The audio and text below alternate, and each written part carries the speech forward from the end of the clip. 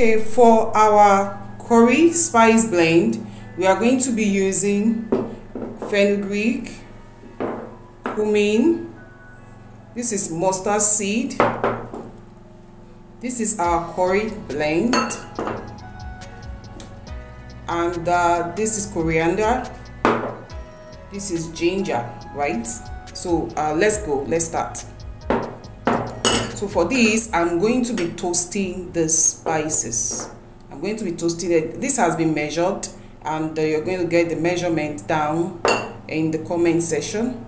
Okay.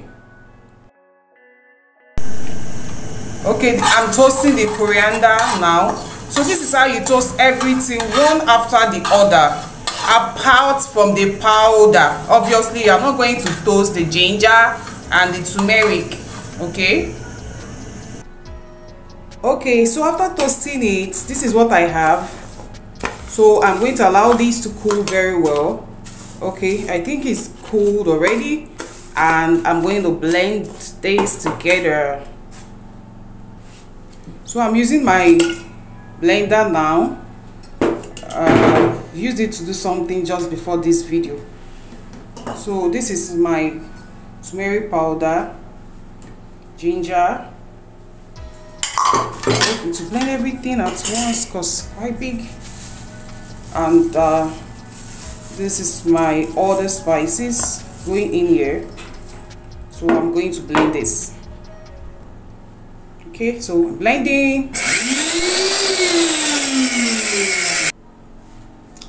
Okay so let's see what our curry looks like now.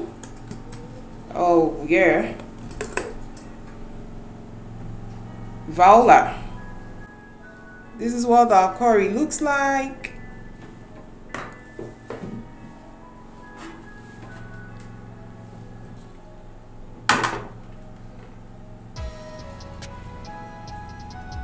So I'm going to pack this now.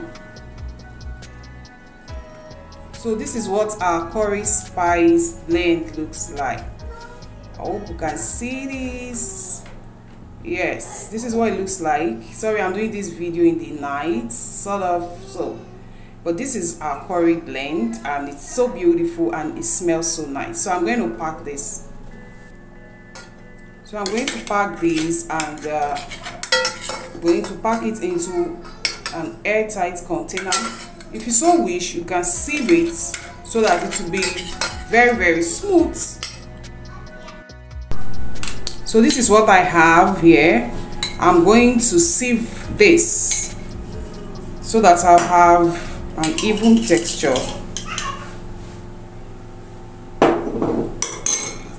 If you have enough patience you can use a smaller if you're doing a little portion you can use a smaller uh, blender to blend it because my blender is quite big and this is a little portion.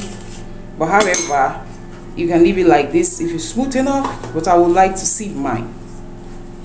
Okay so after sieving it I'm going to pack it in my jar. And you just see my label just now. So I'm going to pack this into my jar. And it's going to give you a very beautiful outlook. I love this. So this is how to make your simple curry at home. Will you try this? I would love you to try it so I'll pack it like so. And uh, me looking at it from the bottle it looks so nice and uh, it's quite attractive. You just want to have some of it. If you want to learn this I will have I'm having a training coming up soon. I will carry you along on this channel for you to learn everything about spice blending. Wow. Okay. Here we go so this is your smooth curry powder. Uh, make sure you keep it in a uh, dry place so that it doesn't attract moisture and get bad. This can stay in your house up to six months to one year. Thank you